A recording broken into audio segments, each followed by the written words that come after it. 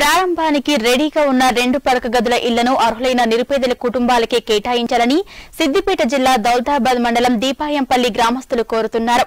గ్రామ సర్పంచ్ లావణ్య నరసింహారెడ్డి మాత్రం double bedroom ఇళ్ళను తన అత్తకు కేటాయించుకోవటం విడ్డూరంగా ఉందని గ్రామస్తులు ఎద్దేవా చేస్తున్నారు. ఇప్పటికైనా ప్రభుత్వ అధికారులు చొరవ తీసుకుని నిజమైన అర్హులకే ఆ ఇండ్లను కేటాయించాలని కోరుతున్నారు. మొదటి విడతగా డబుల్ బెడ్రూమ్ పదిహేను మంజూరై రాములగడి కృషి వల్ల పదిహేను మంజూరాయి. ఇప్పుడు ప్రారంభానికి సిద్ధంగా ఉన్నాయి. అందులో అరువులకు కాకుండా సర్పంచ్ అత్తకు డబుల్ బెడ్రూమ్ తీసుకోవడం సమంజసం కాదు. ఏం పేరు? సర్పంచ్ పేరు? అత్త సర్పంచ్ పేరు? దేవుడు లావణ్య. దేవుడు లావణ్య గారి అత్త అయిన దేవుడు నరసమ్మకు ఒక బిల్- ఇల్లు డబుల్ బెడ్రూమ్ మంజూరు చేసుకోవడం జరిగింది.